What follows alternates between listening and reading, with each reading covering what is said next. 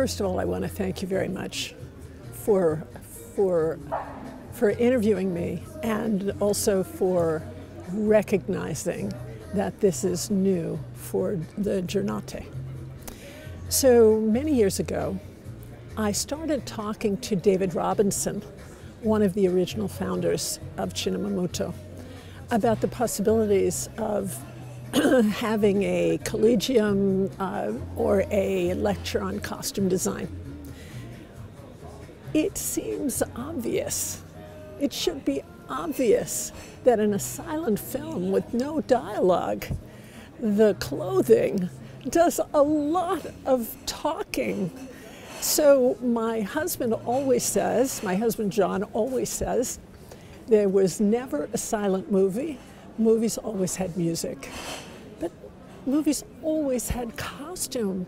And before one word of dialogue, when an actor comes into the frame, who they are expresses so much to the audience. And you know, clothes can reveal or can conceal who somebody turns out to be in the drama. So when I started talking to David Robinson about it, it was a long conversation. Then finally, a few years ago, uh, John and I were here in 2016. And after I was at the festival and I saw the films, this feeling grew so much stronger and I started to talk to friends of mine in the, in the industry, like Kevin Brownlow. Kevin Brownlow was one of my doctoral examiners, right? And, um, and Pat Loughney, and Pat Loughney was from the Library of Congress. And, and I started talking to them about this obvious omission why aren't we talking about costume? Why aren't we talking about the costume designers of early cinema who made this enormous contribution? But they, they're somehow the people behind the camera have completely disappeared. And so, not only is this a story about the disappearance of costume designers, but it's also a story of gender. And I think as generations have shifted for the better now, we should not disappear women.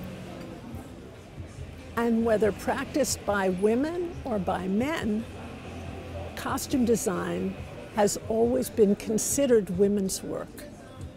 So, for those many reasons, um, thanks to Jay Weissberg, and and now to the to the rebirth of uh, Cinema Muto after the pandemic, we finally have the opportunity to talk about silent film costuming. But it really wasn't until I started working on my doctoral dissertation that I understood how marginalized and how undervalued the contribution of costume designers were worldwide, especially for our contribution to international popular culture. All great actors use costuming as a tool for performance.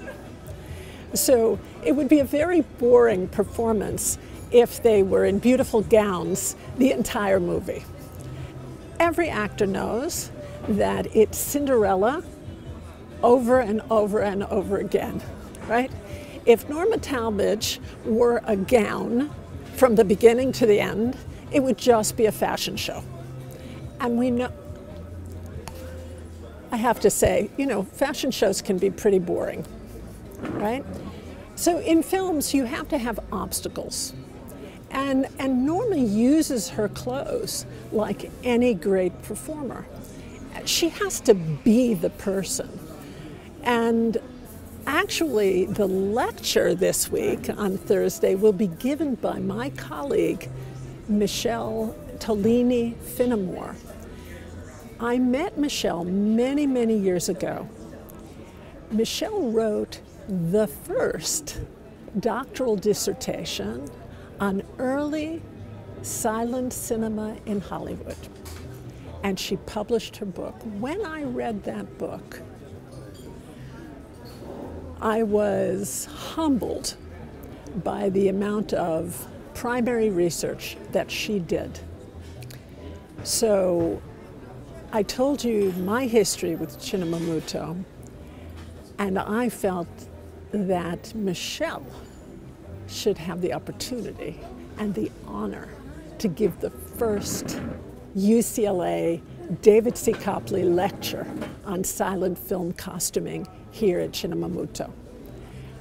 My hope is that every year, that we do it every year, and that people, archivists, historians start to recognize the work of those early costume designers. And every year we'll have a different lecture about a different subject. So, this essentialness of the audience's emotional connection with the movie has to do with more than just the clothes. It's about the creation of the people in film. And that's the role of the costume designer is to create personalities who you care about and care about deeply. And when you think about movies and imagine movies, you imagine those people. As a practitioner, the work hasn't changed.